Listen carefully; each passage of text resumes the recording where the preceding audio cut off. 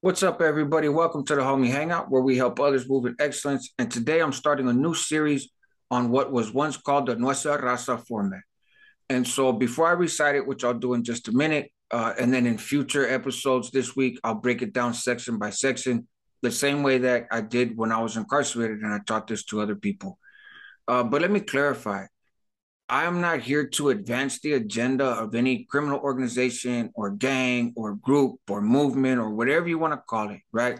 Uh, even though that's the context under which I learned it, and I'll get to that in a second, that's not what I'm here doing. Uh, I believe that this has value to everybody. Um, it, it is a carefully worded document. It's a very intentionally worded document. It is not one that advances a gang, right? Um, it actually has value, I think, to all raza and other marginalized groups, no matter where you're from. It is inspirational. It has a perspective to it, and so I feel to share it with you guys and and get your feedback and see what you think. Right? It's a bit controversial to do this because some people are going to say, "Oh, you know, you're exposing." To those, let me be clear. I mean no disrespect, but at the same time, homie, let's not act like this is some super secret information, right? Um, even without the internet and without the books, the way that education is being done now is is ragtag in the sense of you got teenagers on the streets learning this stuff, right? Um, which I'm not for or against because it's not my business. I'm just saying times have changed from when I learned it. And so let me address that, you know, quickly and the language that I'll be using in this, because those that are familiar with this document might try to nitpick a little bit, right? And so let me be clear. The NR, Nuestra Raza, right, was developed, and this is very brief, but uh, was developed in the 80s by the big homies up north because the big homies from the north and the big homies from the south were gone and they were in the SHU. And so what was left is northerners and southerners. Southerners vastly outnumbered northerners. That's always been the case in the Department of Corrections. And so the NR was created as a counterbalance to that right? Um, still Northerners, but at a different level, so to speak, but not a big one. So that is what it was, and and they were really Northern structure. They started out in the '80s. The official birth date is January 22nd, 1984. Um, and then there was indictments in 92 in Santa Clara County involving Cripple Jerry, uh, who some of you have heard from, and others. And then they switched it to Nuestra Raza. And the phrase Nuestra Raza existed within the format, anyways. And so I've heard that that might be where they got that from. But either way, they changed the name. They didn't change the the movement, so to speak. They didn't change its purpose, and it continued on. Um, I was pulled. I was married in 1997 uh, while I was incarcerated. Now that's the same time that the big guys from up north did away with Nuestra Raza. It didn't exist anymore. Um, that filter took a while to get out. Uh, so I think I heard about around 98, but it could take a year for a filter from the Bay to make the rounds back then. We didn't have cell phones, right? And so nonetheless, though, the the teaching still remained. They added a little bit to the format, and the format that I'm going to read today has that bit that they added. Uh, it's the most recent one from when I was incarcerated, and I last, you know, I came out of prison, as many of you know, in 2005. And so, whatever changes or whatever's been done since then, uh, I'm probably not aware of, right? And and I definitely am not including in this.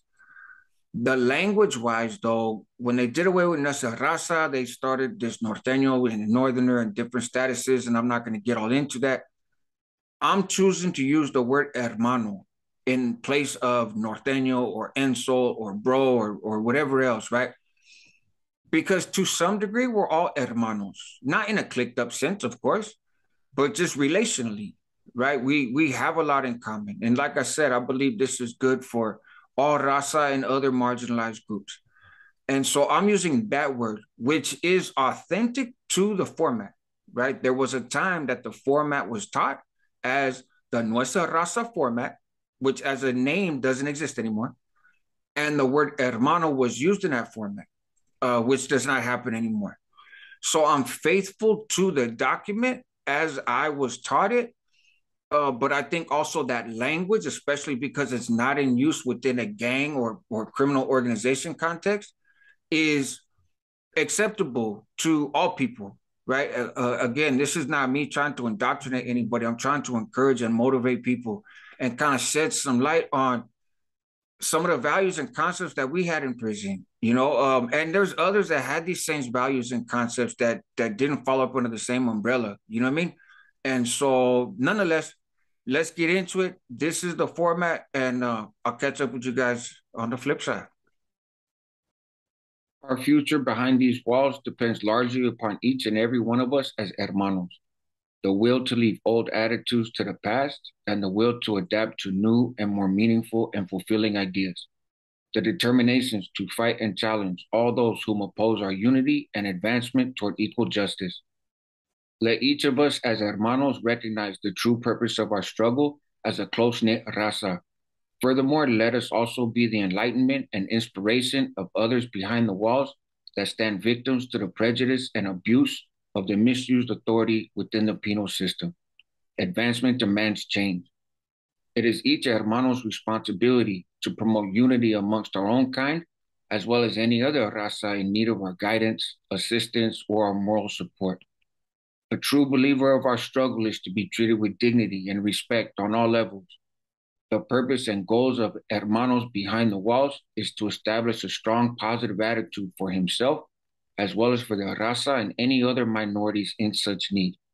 It is apparent that within a hermano struggle for better educational opportunities, social respect, and equality, there exist those who are of the same heritage and background who, for their own selfish reasons, create obstacles and work alongside other group segments that are contrary to the people's struggle. These degenerates are known as vendidos, who strive upon their own people's hard work, sweat, and blood Within our struggle, there is no room whatsoever for the vendidos or their kind. Those who seek to destroy and undermine our raza's efforts to rise above their standards of living have, through their own actions, made it possible for us and other groups like us to come together, henceforth presenting a strong, united front. It is urgent that a hermano understands his duties and responsibilities, and at the same time asserts and anticipates the many sacrifices we will all come to endure at one time or another. Many of us will make it to the streets, and some will eventually return, while others will not make it for a very long time, and still others will never make it beyond these walls. However, while we are on the inside, we must establish a strong foothold in all pintas for all those who remain and all those who shall return.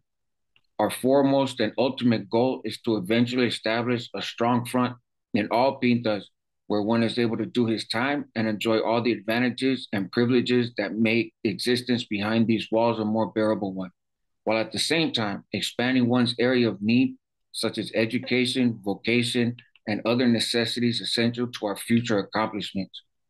It is stipulated that the Hermano struggle is not in any form of prison gang or organization. Once a member of our struggle leaves to the streets, he takes with him better mental strength and knowledge he gained from his educational endeavors and a keen sense of direction in life.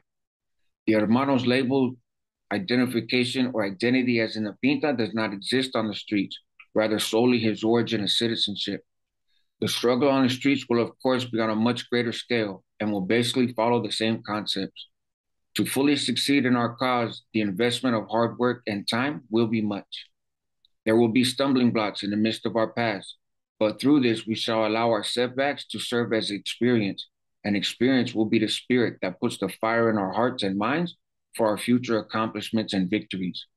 To fully accomplish our set goals and objectives, all hermanos must function on the same level of awareness and discipline.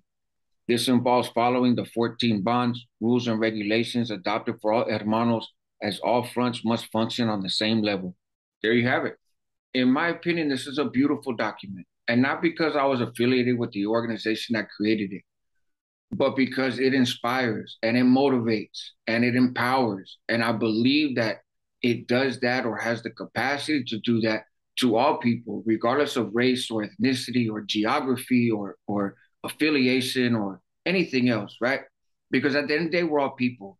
And many of us are people who struggle, right? Who fight against oppression, who struggle for betterment, who want to see better for our communities and ourselves.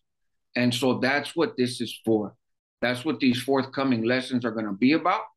Uh, if you have any feedback, of course, leave it in the comments. Check out the other content. There's a variety of it here. And then stay tuned because I expect this to be daily uh, throughout the rest of this week. Help others move in excellence. That's what homies do. Help yourself at the same time and help your community.